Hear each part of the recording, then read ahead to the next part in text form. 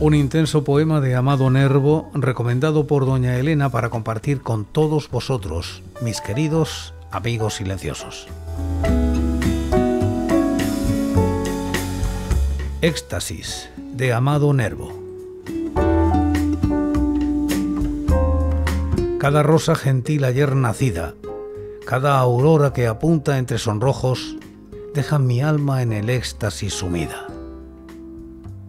Nunca se cansan de mirar mis ojos el perpetuo milagro de la vida.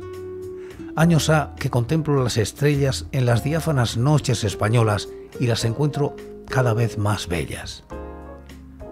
Años ha que en el mar, conmigo a solas, de las olas escucho las querellas y aún me pasma el prodigio de las olas. Cada vez hallo la naturaleza más sobrenatural, más pura y santa. Para mí, Enrededor todo es belleza. Y con la misma plenitud me encanta la boca de la madre cuando reza que la boca del niño cuando canta.